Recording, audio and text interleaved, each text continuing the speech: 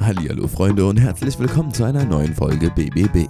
Wie immer gibt es im Folgenden eine Sammlung von kontroversen, provokanten oder einfach nur lustigen Gedanken. Nehmt das Ganze am besten nicht zu ernst. PS, ihr habt jetzt auch die Möglichkeit, eure eigenen Gedanken im BBB-Stil in die Kommentare zu schreiben und wir machen daraus dann eine BBB-Folge mit euren Gedanken. Ein paar haben wir schon, die Folge wird also bald erscheinen. Wenn ihr bei der nächsten dabei sein wollt, könnt ihr unter jedes Video eure eigenen Gedanken kommentieren. So, jetzt aber genug geredet, los geht's mit der Folge. Viel Spaß!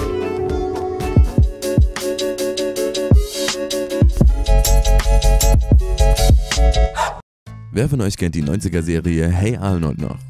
Falls ihr die Serie nicht kennt, das ist Arnold.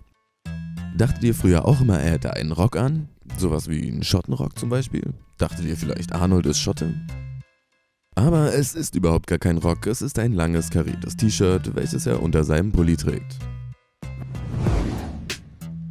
Google Earth und Google Maps sind zwei der größten von der Menschheit erschaffenen Dinge, die einfach so hingenommen werden, als wären sie vollkommen normal.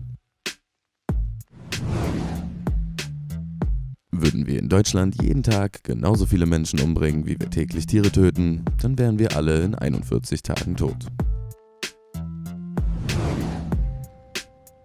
Manchmal frage ich mich, ob Personen, mit denen ich seit Jahren nicht mehr gesprochen habe, auch manchmal an mich denken. Die meisten verstehen das falsch. Wir haben keine Angst, im Dunkeln alleine zu sein. Nein, im Gegenteil, wir haben Angst, dass wir im Dunkeln nicht alleine sind. Die meisten von euch werden diesen Witz hier bestimmt kennen. Ich weiß was noch witzigeres als 24. Ach ja, was denn? 25.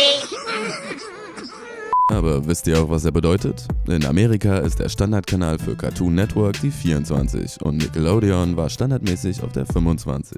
Die Serie wird bzw. wurde von Nickelodeon produziert, das bedeutet, die Produzenten haben sich hier einen Spaß erlaubt. Ja, jetzt wisst ihr auch, was dieser Witz bedeutet. Es ist schon verrückt, wie uns die Technologie heutzutage aus den weitesten Entfernungen näher zusammenbringt, aber gleichzeitig zwei Menschen auf einer Couch komplett voneinander abschneiden kann. Neil Armstrong war der erste Mensch auf dem Mond. Neil A rückwärts geschrieben ergibt Alien.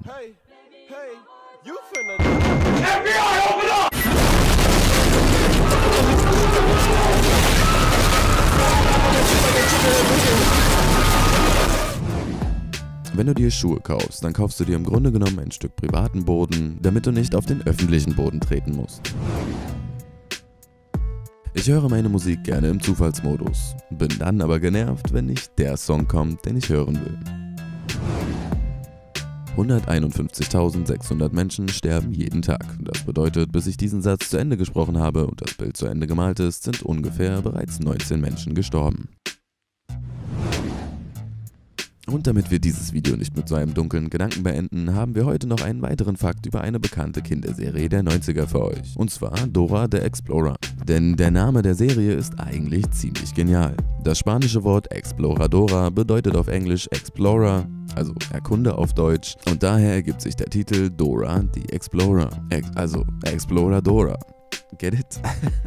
Als ich das zum ersten Mal gehört habe, war ich ziemlich überrascht. Ich weiß ja nicht, wie euch es geht. Wahrscheinlich spricht man es eher Exploradora aus. Aber Exploradora, der Explorer, ja, Exploradora.